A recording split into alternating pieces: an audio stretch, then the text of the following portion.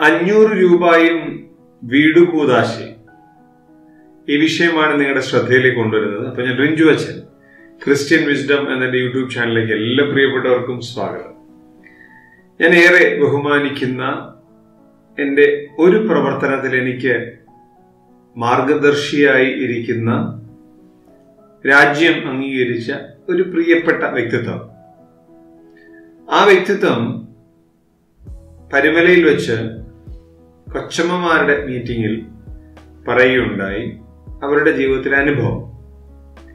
അതേപോലെ തന്നെ ഒരു വീഡിയോ ഫേസ്ബുക്ക് പേജിൽ ഇട്ടിട്ടുണ്ട്. വ്യക്തി ആരെന്നൊന്നും പറയാൻ എനിക്ക് ആവശ്യമില്ല. ആരെയും വ്യക്തിഗതമായി ടാർഗറ്റ് ചെയ്യൽ എന്റെ ജോലിയല്ല. പറഞ്ഞ ഇത്രേ ഉള്ളൂ. ആ വ്യക്തി പണിതു കൊടുത്ത ഒരു ഭവനം അതിന്റെ കൂതാശ ചെയ്യാൻ വേണ്ടി അഞ്ഞൂറ് രൂപ ആ വീട്ടുകാരോട് ആ വീട്ടുകാര് ഈ വ്യക്തിയോട് ചോദിച്ചു അവിടുത്തെ പള്ളിക്ക് കൊടുക്കാൻ വേണ്ടിയാണ് എന്ന്. അഞ്ഞൂറ് രൂപ കൊടുത്ത് കൂതാശ ചെയ്യണം എന്നുള്ളതാണ് സംശയം. ഇവിടെ ഒന്ന് രണ്ട് കാര്യങ്ങൾ ആ വിഷയവുമായി ബന്ധപ്പെട്ടത് പറയട്ടെ.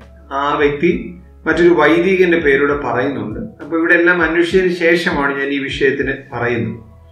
ഒന്നാമത്തെ കാര്യം ഞാൻ പ്രതിനിധാനം ചെയ്യുന്ന ഓർത്തഡോക്സ് സഭയിലെ ഒരു സംഭവം അല്ലിത്. ഒരു സംഭവം അല്ലിത്. ഇത് വേറൊരു സഭയിലെയാണ് ക്രിസ്ത്യൻ സഭയിലെയാണ് ഒരു കൺവേർട്ടഡ് വിഭാഗത്തിൽപ്പെട്ടവരാണ്. ക്രിസ്ത്യൻ സഭാ വിഭാഗമാണ് ഓർത്തഡോക്സ് സഭയിലെ അല്ല അത് ഒന്നാമത്. രണ്ടാമത്തെ കാര്യം ഈ വൈദികൻ പോയി എന്ന് പറയുന്ന വൈദികൻ കൂതാശ നടത്തിയില്ല. കൂതാശ നടത്തിയില്ല കൂതാശ നടത്താന്ന് പറഞ്ഞു കഴിഞ്ഞാൽ അല്ലെങ്കിൽ ഓർത്തഡോക്സ് സഭയിലെ വൈദ്യർ കറുത്തൂപ്പായം ധരിക്കണം മെഴുകുതിരി വെക്കണം ധൂപ്രാർത്ഥന നടത്തണം വെള്ളം തളിക്കണം സ്ലീബ അടയാളം ചെയ്യണം ഇതൊക്കെ ചെയ്യണം. ഞാൻ ആ വൈദികനോട് സംസാരിച്ചു. വൈദികൻ അങ്ങനെ കൂതാശ നടത്തിയില്ല. കാരണം വേറൊന്നുമല്ല മറ്റൊരു ഇടവകയിലെ ഭവനം കൂതാശ ചെയ്യാൻ എനിക്ക് അവകാശമില്ല. എനിക്ക് തന്നിരിക്കുന്ന ഇടങ്ങൾ മാത്രമേ പറ്റുള്ളൂ. മറ്റൊരു വീട്ടിലെ കുഞ്ഞുങ്ങളുടെ കല്യാണം നടത്താൻ എനിക്ക് അവകാശമില്ല. അത് അവർ അവിടുത്തെ വികാരി അനുവദിച്ചാലേ പറ്റൂ. അതുകൊണ്ട് ആ വൈദികൻ കൂതാശ അല്ല നടത്തിയെന്നുള്ളത് ആ മുഖം. മൂന്നാമത്തെ കാര്യം. അഞ്ഞൂറ് രൂപ പള്ളിക്ക് കൊടുക്കാനുള്ളത് കുടിശ്ശികയാണ്.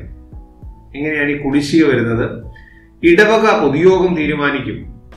ഇടവക പൊതുയോഗം തീരുമാനിച്ചിട്ട് ആ പൊതുയോഗത്തിൽ ഈ വ്യക്തിക്ക് ഇരിക്കാം. അതായത് അഞ്ഞൂറ് രൂപയുടെ കാര്യം പറഞ്ഞ വ്യക്തിക്ക് ഇരിക്കാം. ആ വ്യക്തി ഇരിക്കും ആ വ്യക്തി ഉൾപ്പെടെ തീരുമാനം എടുക്കും അല്ലെങ്കിൽ ആ വ്യക്തിക്ക് എതിർക്കാം. അതാണ് ഇടവക പൊതുയോഗത്തിലെ ഡെമോക്രസി. അങ്ങനെ പറയാമെന്നുണ്ടായിട്ട് അങ്ങനെ പൊതുയോഗം എടുത്ത തീരുമാനമാണ് മാസവരി ഇത്ര രൂപ കവർ കളക്ഷൻ ഉണ്ടെങ്കിൽ ഇത്ര രൂപ. ഇത് ഓർത്തഡോക്സ് സഭയോട് ചേർത്താ കേട്ടോ പറയുന്നത് അത് പിന്നീട് വർഷങ്ങൾ കഴിയുമ്പോൾ ഇത് കുടിശ്ശികയായി മാറും. ഒരു ടേം കഴിയുമ്പോൾ അത് കുടിശ്ശികയായിട്ട് മാറും. അല്ലാതെ അത് വൈദികൻ തീരുമാനിച്ചതല്ല. ഒരു വൈദികനും തീരുമാനിച്ചാൽ നടക്കത്തുമില്ല. ഒരു രൂപ പോലും പിരിവില്ലാതെ പള്ളി നടത്താം. അത് എന്ത് ചെയ്താൽ മതി? ഇടവക പൊതുയോഗം തീരുമാനിച്ചാൽ മതി. ഒരു രൂപ പിരിവ് വേണ്ട. നേർച്ച വേണ്ട നേർച്ച വഞ്ചി വേണ്ട കല്യാണത്തിന് പിരിവ് വേണ്ട ഒന്നിനും പിരിവ് വേണ്ട ഇടവക പൊതുയോഗം തീരുമാനിച്ചാൽ ഒരു വൈദികനൊന്നും ചെയ്യാൻ പറ്റത്തില്ല. അത് പ്രത്യേകിച്ച് ഓർക്കുക. മൂന്നാമത്തെ കാര്യം മൂന്ന് രംഗങ്ങളിലാണ് കുടിശ്ശിക ഇടവക പിരിക്കുന്നത്. ഒന്ന് മാമോദീസ രണ്ട് വിവാഹം മൂന്ന് വീട് കൂതാശ ഭവന കൂതാശ. ഈ മൂന്ന് കൂതാശകൾ നിർവഹിക്കുമ്പോഴും കുടിശ്ശിക അടയ്ക്കണം. ചിലയിടത്ത് ഭവന കൂതാശിക്ക് എക്സെപ്ഷൻ ഉണ്ട്. ഇത് തീരുമാനിച്ച ഇടവ പൊതുയോഗമാണ് ഇടവ പൊതുയോഗം വികാരിച്ചുകൊണ്ട് പറഞ്ഞിട്ടുണ്ട് അച്ഛാ കൂതാശ നടത്തണമെങ്കിൽ ഞങ്ങളോട് പറഞ്ഞിട്ട് ചെയ്യാം? ആരോട്? ട്രസ്റ്റിയോട്. ഇടവ പൊതുയോഗത്തിന്റെ ചുമതലക്കാരനായിരിക്കും ട്രസ്റ്റിയോട് പറഞ്ഞതിന് ശേഷം മാത്രമേ നടത്താവൂ. എന്താ കാര്യം എന്ന് ചോദിച്ചാൽ അവരുടെ വീട്ടിൽ കുടിശ്ശിക ഉണ്ടെങ്കിൽ ആ കുടിശ്ശിക അടയ്ക്കണം.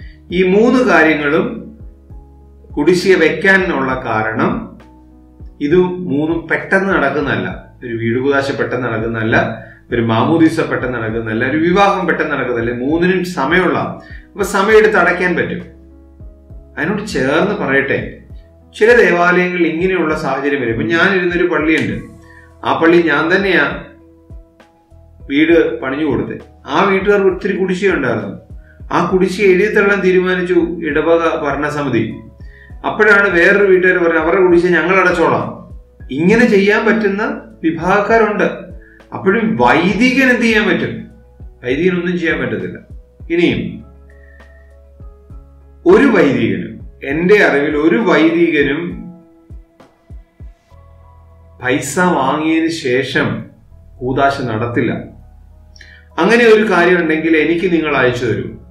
ഞാൻ വൈദികനെയും മെത്രാപ്പൊലിത്തയുമായി ബന്ധപ്പെടുത്തി മെത്രാപ്പൊലിത്തയ്ക്ക് ഞാൻ കൊടുക്കാൻ പരാതി.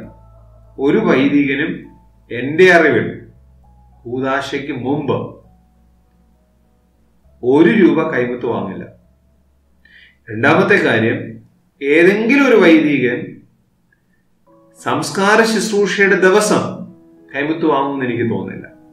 ഏതെങ്കിലും ഒരു വൈദികൻ ഇത് സംസ്കാര ശുശ്രൂഷയിൽ പങ്കെടുത്തതിന് കൈമുത്താണെന്ന് പറഞ്ഞാൽ വാങ്ങില്ല.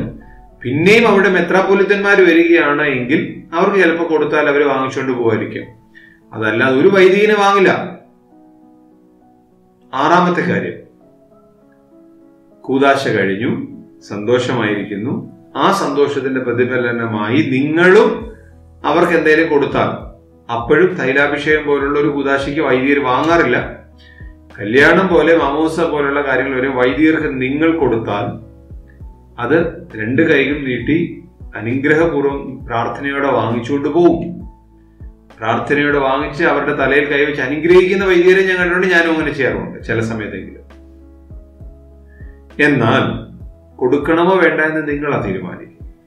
ഒരു സ്ഥലത്ത് എനിക്ക് നല്ല ഓർമ്മയുണ്ട് ഒരു സ്ഥലത്ത് വ്യക്തിയെ എനിക്ക് ഓർമ്മയുണ്ട്. ഞാൻ അവരുടെ സാമ്പത്തിക ബുദ്ധിമുട്ട് മനസ്സിലാക്കിയത് വാങ്ങാതിരുന്നപ്പോൾ അവർ വളരെയേറെ ദേഷ്യപ്പെട്ടു നാട്ടുകാരുടെ ഇടയിൽ വെച്ച്. ദേഷ്യപ്പെട്ടു എന്ന് മാത്രമല്ല അവരെന്നോട് പറഞ്ഞു ഞങ്ങൾക്ക് പൈസയൊക്കെ ഉള്ളവരാ. അച്ഛൻ പൈസക്കാരനായെന്ന് മാത്രമേ പൈസ മേടിക്കുകയുള്ളൂ. അത് വലിയ തുകയായിട്ടാണോ മേടിക്കുന്നത്. ഞങ്ങൾ പാവങ്ങൾ ഞങ്ങളുടെ രീതിയിലുള്ള തരുമ്പോൾ അച്ഛൻ അത് സ്വീകരിക്കേണ്ടാകും എന്ന് പറഞ്ഞു. പിന്നെ രണ്ട് കഴിഞ്ഞിട്ട് പറഞ്ഞെങ്കിൽ തന്നേക്കാൻ പറഞ്ഞു. സന്തോഷത്തോടെ സ്വീകരിച്ചു. ഒരു തർക്കമില്ല ഇവിടെ എവിടെയാണ് അതിന് ഉത്തരവാദിത്വം?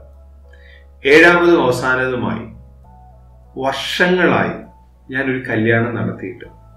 വർഷങ്ങളായി ഞാനൊരു കല്യാണം നടത്തിയിട്ട്. അതിന്റെ കാരണം ഒരു കല്യാണം ഉണ്ടെങ്കിൽ എത്ര പേരെ വിളിക്കുന്നത് എത്ര പേരെ? എത്ര വൈദികരെ വിളിക്കുന്നത് എന്തിനാണിത്?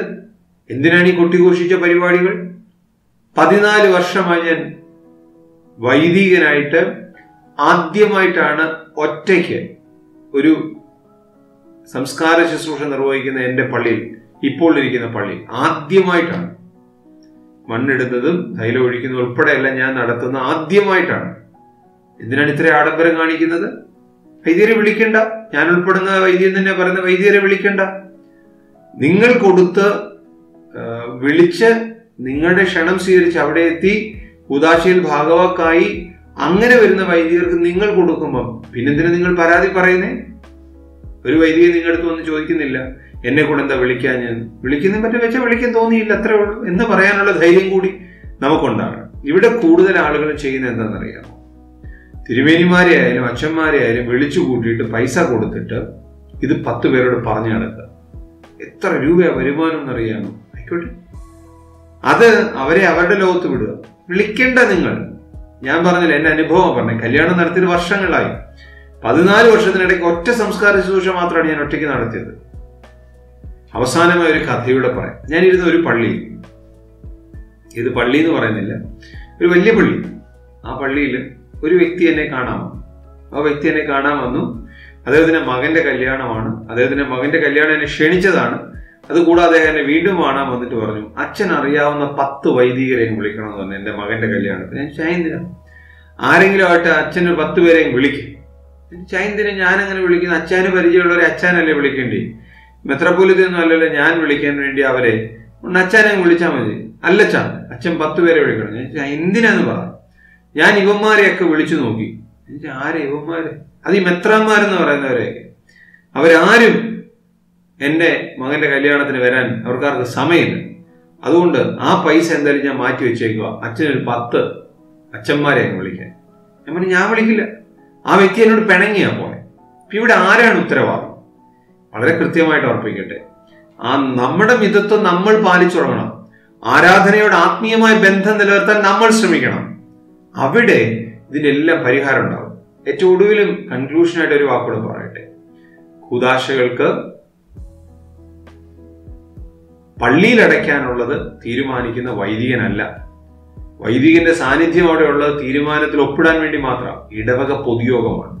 ഇടവക പൊതുയോഗത്തിൽ എന്നെ കേൾക്കുന്ന ഓരോ പ്രിയപ്പെട്ടവരും ഇടവക പൊതുയോഗത്തിൽ പോയിരിക്കണം.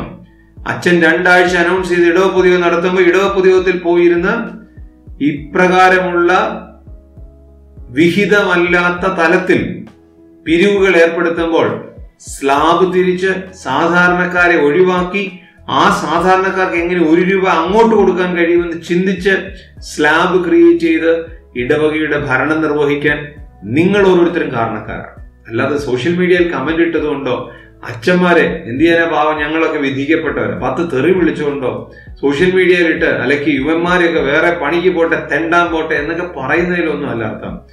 നമുക്ക് കാണിക്കാം നമ്മുടെ മാതൃക. ഇടവകയിൽ തീരുമാനിക്കണം. അതിനനുസരിച്ച് പ്രവർത്തിക്കാൻ കഴിയട്ടെ. ഞാൻ പറയുന്ന ഒന്നും വ്യക്തിഗതമാക്കാതിരിക്കുക. മറ്റു വിഷയമായിട്ട് വീണ്ടും കാണാം. ദൈവം